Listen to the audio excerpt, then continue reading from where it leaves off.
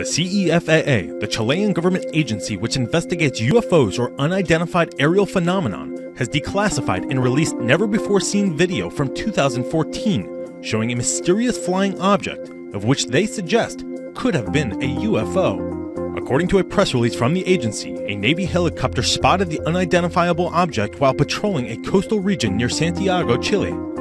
The unknown object was seen flying at a constant speed, similar to that of the helicopter, and moving forward. The pilot tried several times to communicate with the object, but he received no reply.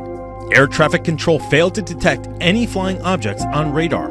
In two instances, the object ejected some type of gas or liquid with high thermal tracking. Captured on video, you can see a massive plume of material trailing behind the object. Moments later, a second ejection of the unspecified discharge. The flying object was visible for about 10 minutes before disappearing into the clouds without a trace. What could it be? Was it a UFO? Air Force photo analysts confirmed that the three dimensional object was real, with volume and showcased control in its movements. They established that there was no evidence of hoaxing or alteration of the video by any computer application in the editing and processing of the images. Officials also ruled out a bird or flying insect, a drone, parachute, or a hang glider.